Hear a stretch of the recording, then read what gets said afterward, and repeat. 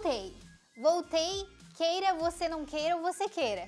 Ou você não queira e, e não sei o que, já dizia a nossa filósofa Anitta, que eu esqueci essa frase muito famosa dela.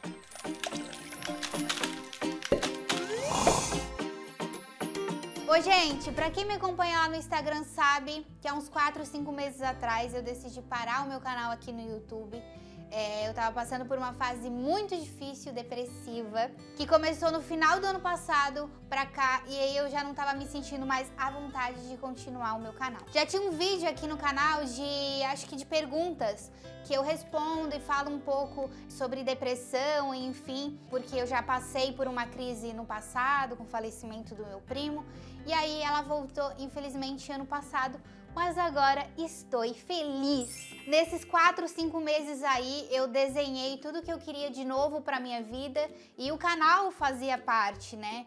Porque desde que eu cheguei no YouTube, na verdade eu comecei lá com um vídeo com o Felipe e nesse tempo que a gente foi fazendo vídeo, entrei no canal Win e fui me apaixonando por criar conteúdo e apresentar conteúdo também. Logo depois veio o Mate, fazer vídeos comigo, dá um grito, macho.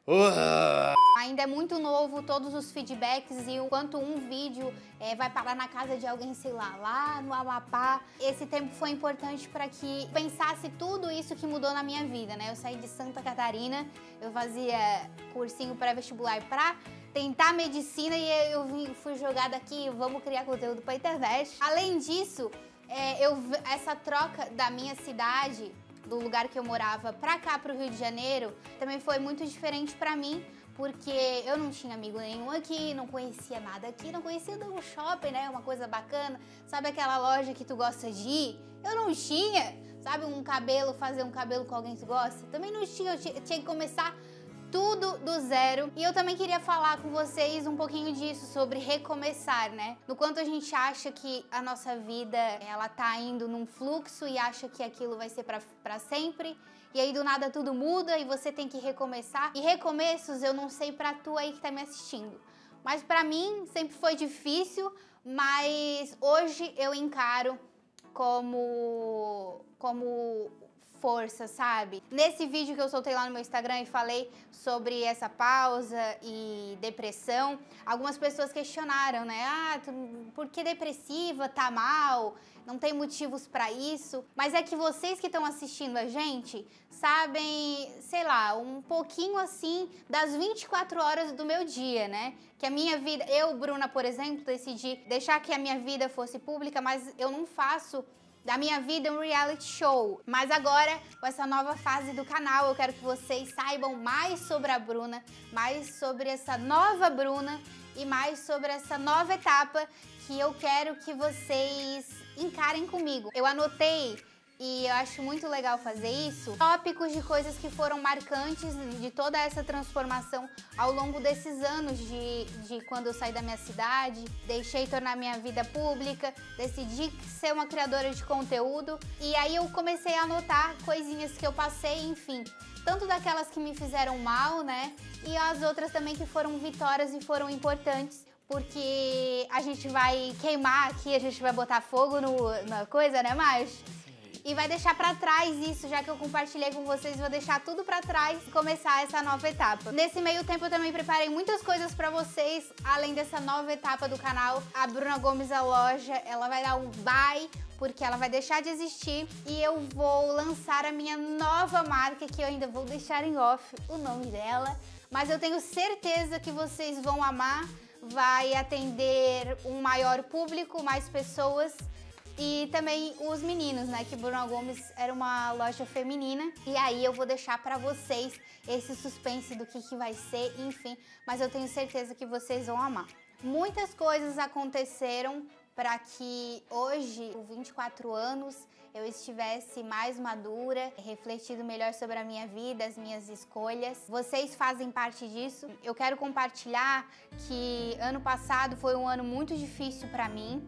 Conheci pessoas das quais eu não gostaria de ter conhecido, tive que escutar muitas coisas, enfim, eu absorvi muitas coisas que me deixaram, que me desanimaram para seguir nas minhas futuras escolhas, enfim, no, nos meus sonhos, né? E eu sempre fui a pessoa que sempre dei a mão pro outro e falei que ia dar certo de alguma maneira que, que independente se o, o caminho fosse difícil ou não, que ia dar certo. E nessa troca que eu falei para vocês no começo do vídeo, é, além de é, mudança de mudança de, de estado, de cultura, de coisas que eu, eu, desconhecia, de um mundo novo, né, que é a internet, eu também não tinha encontrado muitas pessoas que, que, que deram a mão para mim e falaram que estavam comigo ou que, tor que torciam por mim. Foi muito difícil achar essas pessoas, sabe? Aquelas pessoas especiais que você, quando lembra de alguma coisa, você quer compartilhar. Então, eu não posso chorar porque meus cílios demorei duas horas para colar.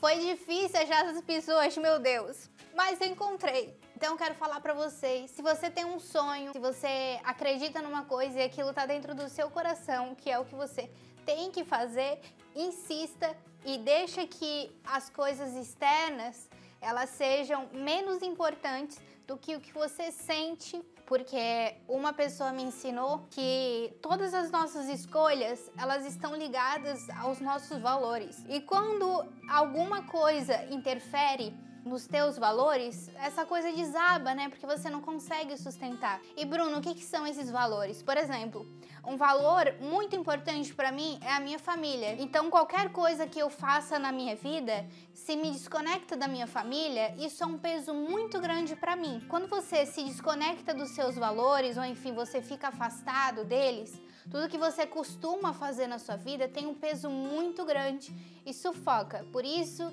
que não vai para frente. Então, eu tive que dar um passo para trás, respirar e me conectar com tudo aquilo que fazia sentido para mim e reforçava os meus valores. Se você tem um sonho, se você tem um amigo que tá lá pensando uma coisa assim, muito louca da vida dele, dê a mão pra ele e fale, vai dar certo, estou contigo, vamos acreditar nisso aí a fundo e vamos fazer dar certo.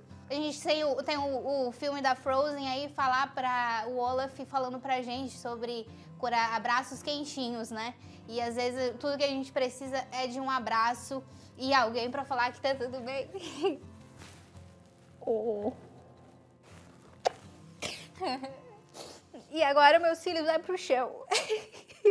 Estou aqui com o Mate, estamos testados, né, Mate? Sim. E isolados, enfim, tá tudo certo. Tá tudo certo. Mas enfim, não quero mais chorar nem me emocionar, porque vocês sabem ou não estão me conhecendo agora de que sou uma pessoa chorona e enfim. Tudo isso, com toda essa volta, com todas essas coisas, quero falar para vocês que a gente está esperando ansioso, né, Mate? Sim. Todos vocês para essa nova fase a gente vai pensar em conteúdos que nos aproximem ainda mais de vocês e queria agradecer a todo mundo que faz aqui da, da de, de, tudo que a gente faz aqui na internet um, um espacinho do seu dia, porque eu acho que, que o que a gente mais gosta é sentir que mudamos o dia de alguém, sendo fazer refletir sobre alguma coisa ou um sorriso. Enfim, agora eu e Mate vamos queimar esta listinha de angústias e coisas que me pararam por um tempo e que me fizeram tristes e chorar e borrar a minha maquiagem que fiquei duas horas fazendo. então né? nada mais, nada mais do que queimá-las para deixá-las no passado, no esquecimento, para que elas nunca mais voltem. E aí, com isso, a gente te convida a fazer parte dessa nova fase do canal que a gente está super animado e esperando tu aí para compartilhar esse vídeo, curte, curte e se inscreve aqui no canal de meu Deus. Pera aí, agora vai tacar fogo aqui. Eu não... Ai, eu não sei, Mate. Vai, vai, segura. Aê.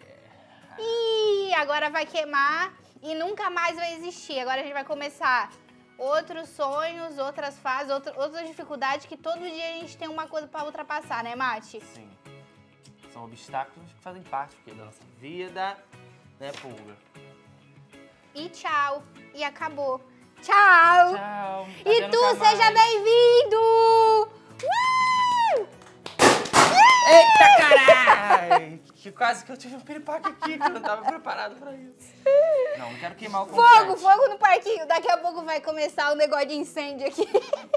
Vai todo mundo se molhar. Tchau, gente! Esse ano a gente arruma uma namorada pro Bruninho. Aê! Aê! Tchau, gente. Como é que a gente vai ficar de olho aqui nesse fogo, pelo amor de Deus? Não faça isso em casa.